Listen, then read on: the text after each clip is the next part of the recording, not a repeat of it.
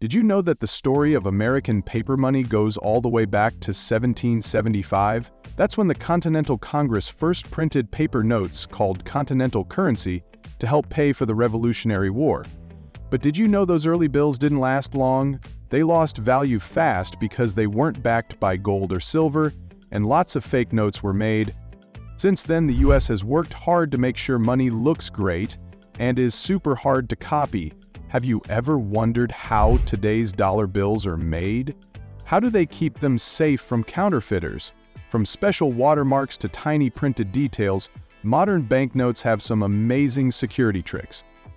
In this video, we'll explore the entire process of how American paper money is made today, from the paper itself to the final step before it reaches your hands.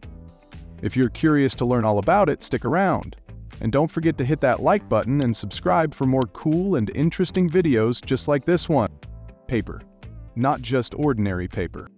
Even though we call it paper money, US bills aren't made from the same paper as books or newspapers. They don't come from wood pulp. Instead, they're made from a special mix of 75% cotton and 25% linen. That's why they feel a little rough and are hard to tear.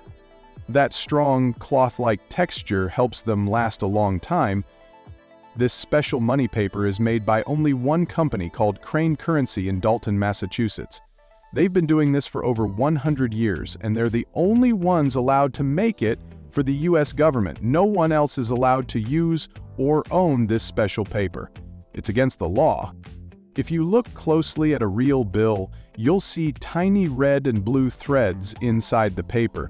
These tiny fibers are part of the first step to stop fake money. And here's something cool. No two bills have the same pattern of fibers, which makes copying them really hard. Hidden watermarks and security threads. To make US money even safer, some hidden features are added right into the paper. If you ever hold a real bill up to the light, you might see a soft, ghost-like picture. That's called a watermark, it usually matches the person on the front of the bill, like Abraham Lincoln or Benjamin Franklin. This watermark is hard to fake, so it helps tell if a bill is real or not. For bills that are $5.00 and up, there's also a thin, clear strip inside the paper called a security thread. This thread runs up and down vertically and has very tiny writing on it. It shows the bill's value. So if it's a $10 bill, the thread will say 10. You can't see it well unless you hold the bill up to the light. Here's something really cool. Under UV ultraviolet light, this thread glows. A $5 zero cents bill glows blue, and a $10 bill glows orange. It's one more way to check if a bill is the real deal. From art to engraving, creating the plates. Now that the special paper is ready, the next big step is printing, but before that, there's a lot of artwork and carving involved. It all begins with sketches made by skilled artists. They draw the faces, numbers, borders, and all the designs we see on our money. Then, engravers step in. These experts use a special tool called a pantograph pen to carve the drawings onto steel plates, also known as master dies. This carving is done by hand and it can take days because every little detail has to be perfect. These steel plates aren't just plain metal, they're coated with chromium to handle the high pressure used in printing. The engravings also include tiny lines and dots, something called microprinting. If you look very closely at a $100 bill, you'll spot tiny words like the United States of America hidden in Benjamin Franklin's collar. These small details are super hard for counterfeiters to copy, making your money safe. Adding color with offset printing. For bills that are $5 and higher, the first big step in printing is called offset printing. This step adds the colorful background designs you see on both sides of the bill. But here's the cool part, the ink doesn't go straight from the plate to the paper. Instead, it goes from the plate to a soft rubber blanket and then onto the paper. This special method helps make the colors look sharp, clean, and very detailed. The machines used for this job are huge, more than 50 feet long and weigh over 70 tons. They work really fast too, printing up to 10,000 sheets every hour. That's a lot of money being made. But even with all that speed, the process still needs a human touch. Skilled workers carefully watch the machines the whole time. Every 500 sheets, they take one out to check it closely and make sure there are no mistakes. Intaglio printing, giving bills their unique feel. After the colorful background is printed, the bills go through the next step called intaglio printing. This is where the raised designs and textures are added. The parts you can feel when you touch a real bill. This special printing uses the engraved steel plates we talked about earlier. First, the ink goes into the tiny grooves carved into the plates. Then, the extra ink is wiped away and the plates press down onto the paper with massive force, up to 20 tons. This pressure pushes the ink deep into the paper and creates the raised lines you can feel with your fingers. That raised texture isn't just cool, it's also one of the toughest things for fake moneymakers to copy. Intaglio machines are fast too, printing up to 10,000 sheets every hour, but they can only print one color at a time. After this step, the printed bills are left to dry for about three days before moving on to the next part of the process. Adding serial numbers and seals. The final step in printing is called letterpress printing. This is where each bill gets its serial numbers, the Treasury seal, and the Federal Reserve seal, all important for tracking and proving the bill is real. For bills $10.00 and higher, the number in the bottom right corner gets a special color shifting ink. When you tilt the bill, the color changes from copper to green.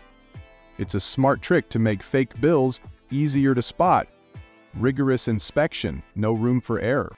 After printing, the bills go through a smart machine called the Offline Currency Inspection System, OCIS. This machine uses cameras and software to check both sides of each sheet. Super fast, about 2.5 sheets every second. If the machine finds any tiny mistakes, it pulls out those sheets for a closer look, but if some of the bills on that sheet are still good, they're saved and handled separately. Cutting and packaging. After the bills pass the inspection, it's time to cut them. Big machines called guillotines slice the large sheets first across, then down into the size we all know, about 2.61 inches by 6.14 inches. Next, the bills are stacked in groups of 100, with bands showing their value. These stacks are wrapped into bundles, and four bundles make a brick. That's 4,000 bills in total. Then, four bricks are packed onto a skid, which holds 16,000 bills. Now here's something cool. If those are all $100 bills, one skid can be worth $64 million. These skids are stored in super safe Federal Reserve vaults, waiting to be sent out when needed transporting money safely. When the money is ready to go out into the world, keeping it safe becomes very important. The bills are packed into armored trucks, those big trucks with thick metal walls and strong locks that you might have seen before. Sometimes, guards ride along to make sure nothing goes wrong during the trip. Every part of the journey is planned carefully. The money travels from the place where it's printed to the Federal Reserve Banks, from there, it goes to regular banks all over the country. Finally, it reaches you when you take out cash, buy something at a store, or get change from a cashier. So the path your dollar takes is not just interesting, it's also super protected. It shows how much effort goes into making sure your money is safe and ready to use whenever you need it. Cool, right? Interesting facts about making money.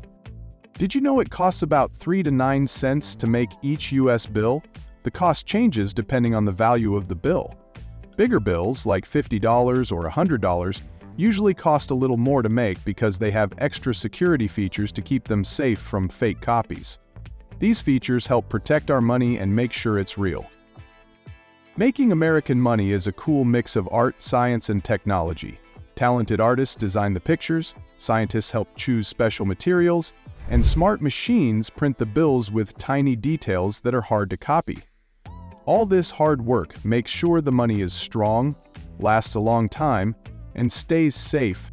Even though we use money every day, Most of us don't stop to think about how much effort goes into making each bill.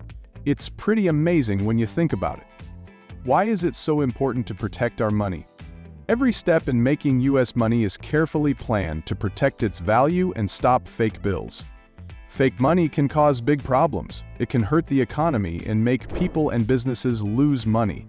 That's why the US government works hard and spends a lot of money to make sure our bills are safe and easy to check. By using special materials, detailed designs, and smart machines, they keep the money you use every day real and trustworthy. Inclusion. And there you have it, the amazing journey of American money. From the special fabric-like paper to the talented artists and powerful machines, every step in making a US bill is full of care, detail, and high-tech protection. Who would have thought so much work goes into something we use every day? Now, when you hold a dollar bill, will you see it the same way? Will you remember the hands, the machines, and the brains behind it all? It's more than just money. It's a piece of American creativity and smart thinking. If you enjoyed learning about how your money is made, don't forget to like this video and subscribe to our channel for more amazing stories just like this one. See you next time, and stay curious.